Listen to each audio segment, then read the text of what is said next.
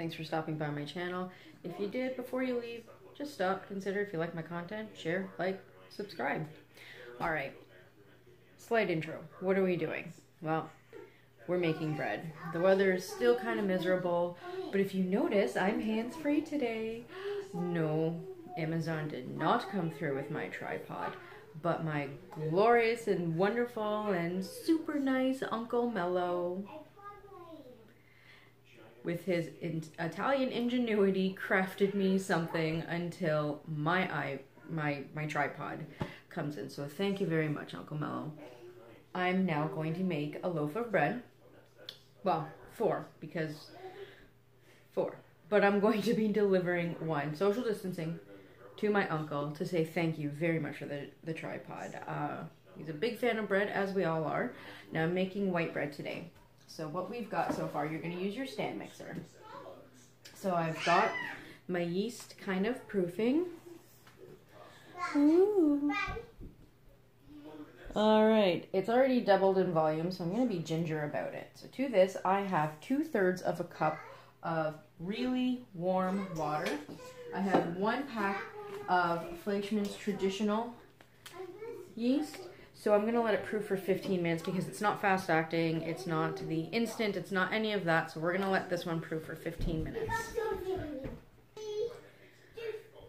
two thirds very warm water, one package of this, and a half a teaspoon of just regular old white sugar. I'm to let it go for about 15 minutes.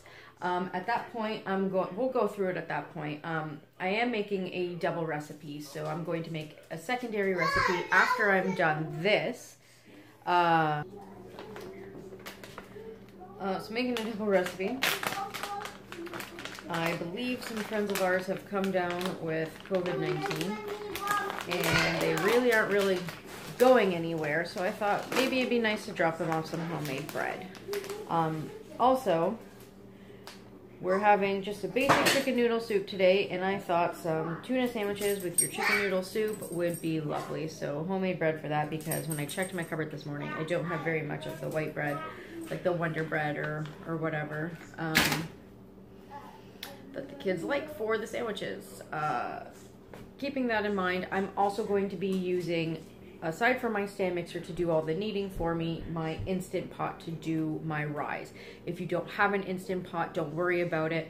This should be a quick rise recipe if you're using quick rise yeast. So about 45 minutes to an hour for the rise. I'm gonna cut that in half with 30 minutes. COVID-19, people are still home. 30 minutes in my Instant Pot on the yogurt low setting. So when this is risen, or my yeast is alive, we'll come back. Okay, so to this, we are going to add one cup of very warm water, much like we did to proof our, uh, our yeast and make sure it was alive. We're gonna add a tablespoon and a half of uh, salted room temperature butter that I've literally just cubed. Okay, it's just to make it easier for everything to kind of uh, break apart. Oh, we're going to add a, another half a teaspoon of just regular old white sugar.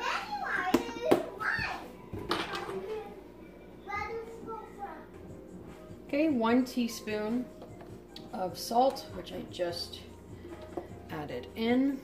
And then we're going to do four cups of uh, flour. Four cups. So I'm going to get all my cups of flour in measured and in here, and we'll be right back. All right, so we're going to insert our dough hook here. I'm backwards. I've never, I never worked this way. All right, we're going to put her down. And we're going to incorporate it all first. We're going to start out at one because we don't have the shield here to block all of the uh, flour that's going to shoot out at me if I put it up higher. And once it's all incorporated, okay, and mixed, we're going to see the tackiness. If it's still a little tacky, then I'll add another tablespoon or so of flour. If it's not, I'm going to turn up the speed to about medium and I'm gonna let the dough hook here do all the kneading for me for about five to 10 minutes. Okay? And the flour is just going to completely pull away from the sides of the bowl here as it continues and, and goes. So just while this is mixing, uh, milestone for me is um, I'm doing giveaways, right? So if I can get to 100 subscribers, then my cost, completely new, I'm going to do a draw and one of those lucky subscribers is going to receive one of my favorite kitchen gadgets that I can absolutely not live without. Um, just as a simple thank you. And every time I hit a milestone, blessed, I'm going to do the same thing. Alright, so we're going to stop it so I can see the texture. You know what? It's not that sticky. So, I mean, it's going to need for another five minutes or so. I think I'm I'm liking it like that. I'm gonna put it back on. I'm gonna put the lock on so she doesn't go everywhere. Oh, it's a, it's stickier than I thought. Yeah, she is. So I'm gonna add about a tablespoon at a time, right? Because you can always put more in. You can just never take out, right? So we're gonna do one tablespoon. And we're just gonna turn up the heat, or the, the temp, the speed. Oh boy. And I'm gonna let it go for five minutes. We'll see you in five minutes, alright? Oh, at this point, preheat your oven to 385 degrees because it's gonna go for 25 to 30 minutes. Now I'm using um, kind of like a banana loaf pan because that's what I've got. We're not fancy about it here. So this recipe will make two 8x9s of those, and you're going to want to grease them. So preheat your oven to 385 degrees. Don't turn on your oven yet. Don't don't do that. I forgot that we need to let this rise. Oh, silly me. So once this is, it's still going. Once this is, is done, I'm going to put it in my Instant Pot. We'll come back there, but I'll tell you what you can do if you don't have an Instant Pot to let things kind of rise. Okay, so I have just put some oil into my Instant Pot. Um, and I am just scraping my dough out of my stand mixer bowl. It's, it's honestly, it's not that sticky. It's really, really not. It's just, it's nice and warm. So it just needs a little help coming out. See? Not bad at all. So once, by the way, how many flowers is that worth? Like I made a whole hot mess and off camera, I'm sure you would have enjoyed it people. I dropped my Instant Pot lid completely on my foot and I screamed. Alright, so we're just going to um, make sure that our dough here is all coated with some oil right? We want to grease it all really, really well. So I literally just throw oil in the bottom and I kind of just roll the dough around and then I make sure I get it all over the sides because as the uh, the dough rises that's kind of where it's going to go and I don't want it to get stuck and me have to pry it off because that will deflate the dough which will defeat the purpose of rising it, right? Alright, so I'm going to, all right, so I've got everything in my Instant Pot.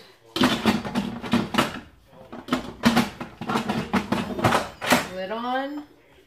We're gonna go to my yogurt setting. I'm going to just leave it on the hour, but I'll, I'll get it in 30 minutes or so.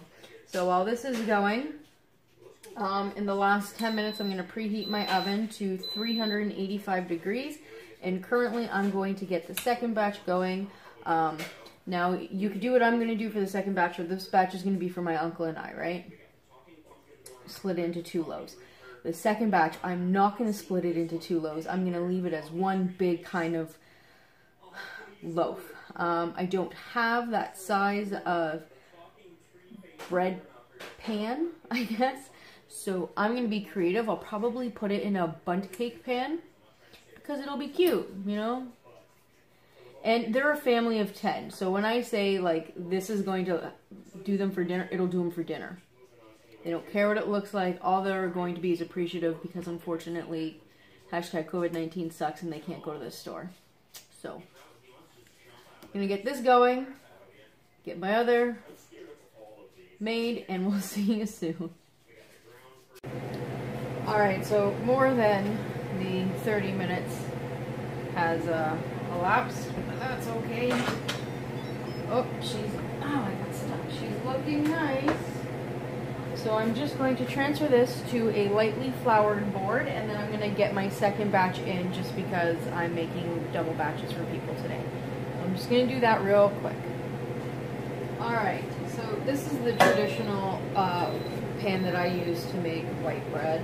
Um, couldn't find my other one. It's somewhere. Doesn't matter. I'm going to improvise, right? I mean, it's not 100% ideal, but yo, when you have to improvise, it's okay to do it, okay? Don't feel like, oh my god, I don't have the exact same pan. What the heck do I do? I can't make this recipe now. Don't, don't feel like that. Okay, guys?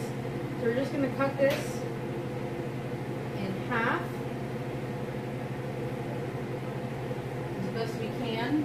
And again, I don't have one of those fancy, you know, like uh, scrapers, so I legit use what I got, okay?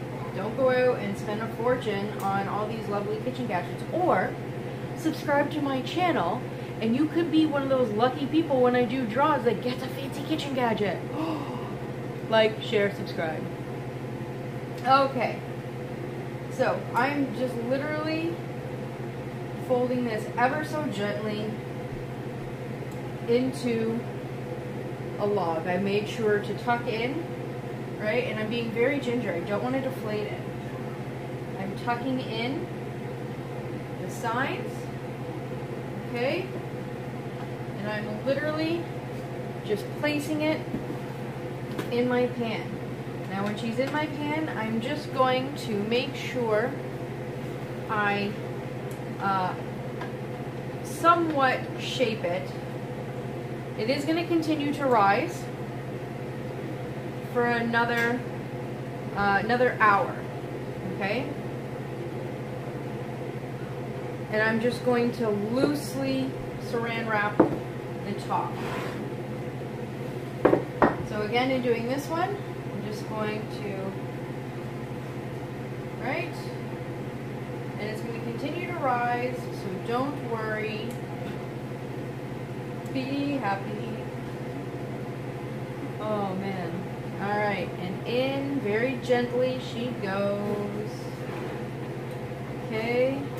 I'm just kind of forming her very gently with my fingers to the, the mold of the, the pan that I'm using.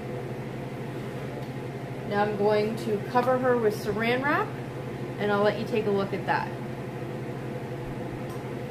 Now when I'm loosely covering something with saran wrap, I literally use like the cheapest of the cheap dollar store saran wrap. I reserve my like good saran wrap for when I need it, like when I'm doing my charred peppers. Um, so if you want to see what that looks like, uh, check the description below for a link to my roasted uh, chicken veggie stuffed um, chicken breast.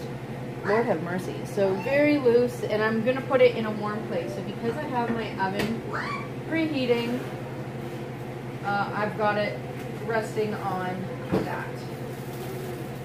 Okay. Very loose. Just like that. And really we want to protect it against the elements. We don't really want it to develop a really thick uh, dry skin on the top. We are not going to be brushing this before we put it in the oven. We are going to brush it when it comes out. I know, so different, so weird. Okay, and we're just gonna let it hang out. That's it. We're just gonna let it hang out. And yeah, we'll see you in, you know what, we'll check on it in a half hour because it's already starting to rise. So, um, and it's probably because I do have it on an element that is starting to heat up through the uh, through the oven itself. So we'll see in about 26 minutes or so. Alright, so it's been 54 minutes, longer than I thought, but that's okay. It's risen really nice. I'm going to be very ginger about taking off my saran wrap here because I don't want to deflate my bread. Okay?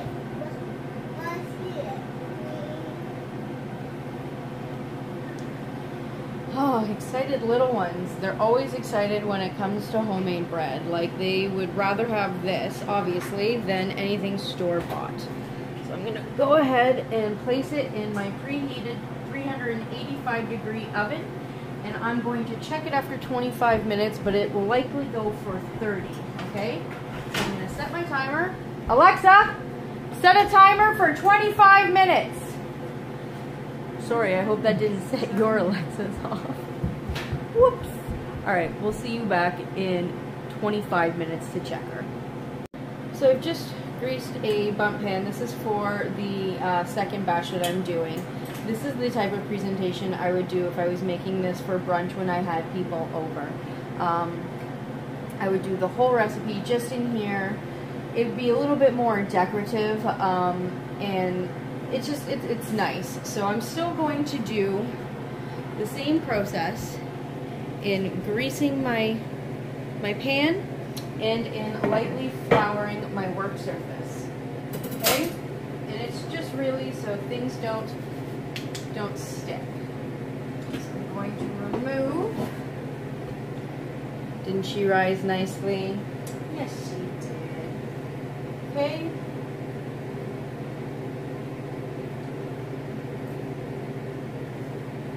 beautiful. Just gonna scrape out whatever dough I've got. Alright. And when it comes to putting it inside, I'm just going to be about it, right? So I'm not really breaking it in half but I want it to go all the way around as evenly as possible. So I will pull it a little bit just to form and I'm going to tuck in and pinch together so it is even. And very gently I'm going to just pull, right? and spread it so that it is as even as possible and making sure that I pinch everything down and in. Now I did grease the bejesus out of this as well with some nice spray. Okay, just one part here that I have to finish tucking in. And this is really just, it's a nice brunch kind of uh, presentation when you've got people coming over and you want to make some fresh bread. Um, you know, you put this on the table and it's a little bit of a showstopper. Like, not only did you make your own bread, but it's pretty. You know, like, yes, you can definitely do the two loaves and only put out one if you want to reserve for yourselves. But they are a large family of 10. So in one household, God bless them, so just going to do this for them. And again, the same steps in lightly covering. Okay? We don't want to do it super crazy tight. We're just lightly covering. And I'm just going to put it back on the top of the, the stove, wash my hands, and I'm to let it hang out probably another half hour to 45 minutes. So we'll see you when we check the other loaves in, oh gosh, about 20 minutes now. See you soon. All right, my 25 minute timer has gone off, so let's open it up and take a look. They're looking good, guys, and it, the house smells wonderful. Oh my Lanta. Look at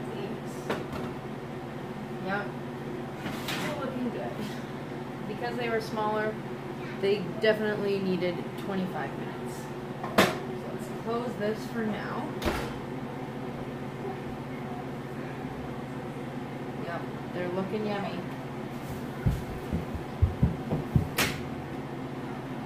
Alright, so now that those are out of the oven, we're going to put our larger one in. And I'm going to set a timer for 30 minutes. Okay guys, I've taken them out um, just so that I could melt about a tablespoon of salted butter. And I'm going to lightly brush the top of them and then I'm going to put them back in there in their you know um, their vessels to just kind of chill for about a half hour. So I'm literally this is just it's gonna melt right in going to be lovely add a nice finishing touch I did put some paper towel underneath to kind of catch this and if you notice I am doing this over a wired rack um, if you don't have a wired rack, I think I, I uh, said it in a previous video, that you can take out the insert of the countertop oven that you're not using that's not hot, and you can do it on that. Uh, I often, especially Christmas time when I'm doing an obscene amount of baking, I will use the base of one of my Gotham steel metal trays, and it may leave an imprint um, because it is a little bit of a harder surface but that's okay. Like, nobody's really paying attention to the bottom. People don't eat from the bottom of it, you know, while they're looking at it, right? So I'm just being nice and generous with my butter here. Okay?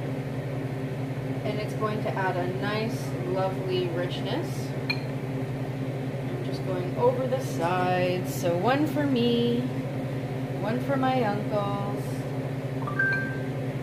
and then the one in the oven will be for my friends. So I'm just going to set aside the remainder because I am using it uh, for the other one once it comes out of the oven. And now I'm just going to transition back. Very lightly. Just like that. And it just kind of to help soften the top. It looks lovely. So that's going to hang out for about a half hour. We'll see you when we pull out the other one, alright? Alright, my timer has gone off. Solos, move. Move, Poochies. So, move, Poochies. oh, man. Oh, wow. She looks pretty. Okay, so I'm going to let it hang out here for a minute to two minutes, and then I'm going to transfer it to the wire rack, brush it with butter, and then put it back in for another half hour. Oh, look, husbandito's calling.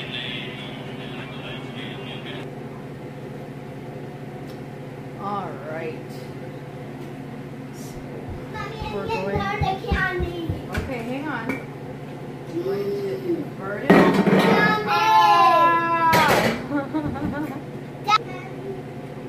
Alright, so now that we've got it all nice and flipped over, we're just going her real good with the remaining butter. Okay, so we're just brushing the rest. Hashtag COVID-19 sucks. Alright guys, are you, are you like hashtag struggling moms, just like uh, just like me. Lord have mercy. I mean, the province is supposed to start reopening today, and I live in Ontario, Canada, and the premier, uh, Mr. Ford, is supposed to be making an announcement, and the Minister of Education, Mr. Lecce. Lecce, man, you better have some good good news for me, you know. Anyways, hashtag home life. What are you going to do? So this is the part here. I don't know if you can see it. I probably could have pinched it a little bit better, but it's looking mighty fine. It's, oh my god, I can't even begin to describe to you what my house smells like, but it's looking beautiful. So the top here just adds another nice dimension of flavor, and it softens the top, okay? So I'm going to put this back in our uh, oh our pan here that it, it baked in. That wasn't metal. How now was it? And now our other bread has been resting for a half hour.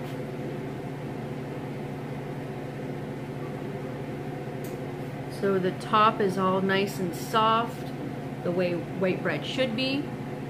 smells delicious, so I'm just gonna let it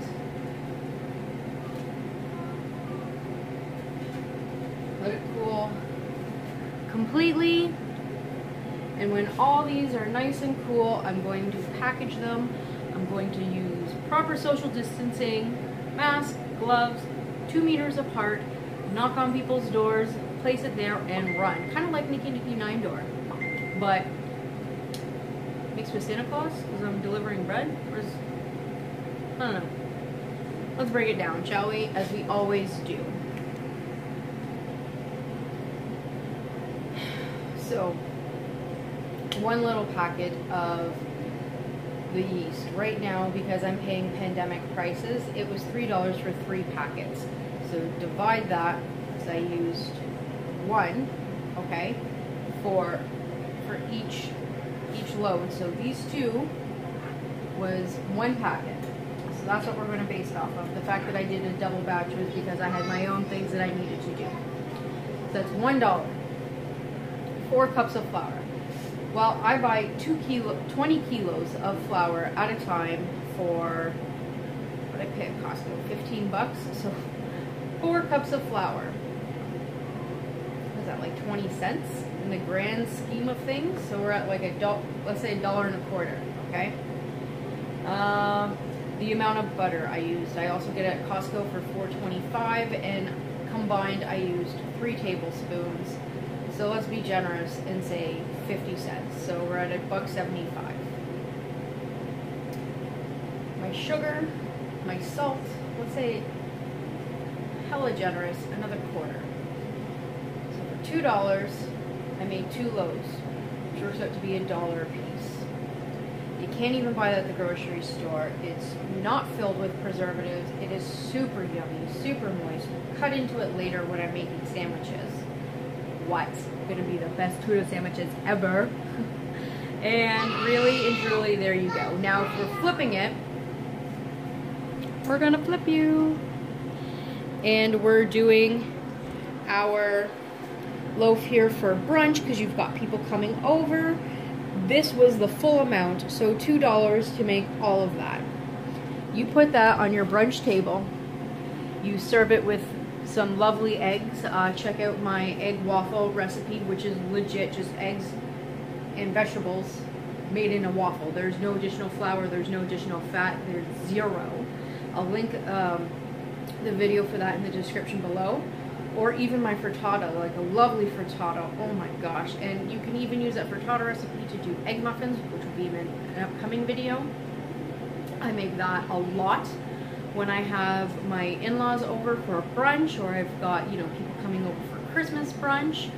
I'll link that video in the description below. Super yummy. You're gonna wow everybody. And really, the stand mixer did like 99.9% .9 of all the work. You just had to add stuff in. As always, guys, if you like the content, share, like, subscribe. And I won't say the E-N-J-O-Y word yet because you're going to come back when I cut into the bread. We'll see you in like five hours.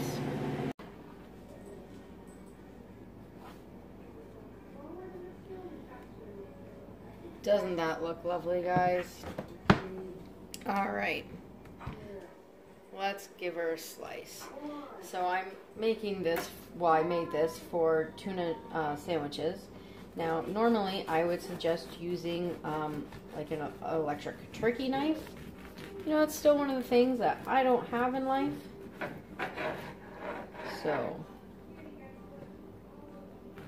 probably make it easier so you're not manhandling the bread like I am, but look at that. Pretty. So I am making hearty sandwiches, so I am going to cut them thicker. Uh, I'm totally cutting them on an angle, but my my youngest told me he wanted a bread sandwich, so I'm reserving these two slices for him. Uh, I did do my deliveries today, and I dropped off with social distancing, wearing a mask and gloves. Uh, to yeah. Look at that. That's so pretty, so fluffy. It is legit so fluffy. It's delicious. I'm gonna get this cut up. I'll build a sandwich so you can see it. We can try it. Ooh, that means I could try it before my husbandino gets home. All right. She's looking pretty, guys. So I'm just going to take whatever filling. I mean, even if you wanted to do like uh, toast and butter or jam and cream cheese, um, that would be absolutely divine. And oh man, peanut butter. Mmm, so much better than on some celery. It's a nice hearty sandwich.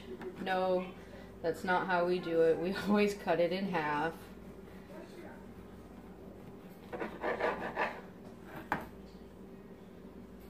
Oh man, I would love to have a bite of that one. I'm not going to. I'll have an itty bitty one just to try, but I'm going to get all these built for dinner. All right, I'm going to give it one bite.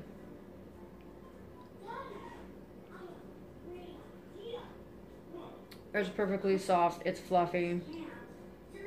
It's, it's so good. Mm-hmm.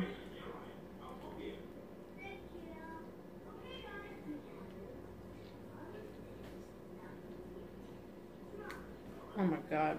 Mm-hmm. Uh,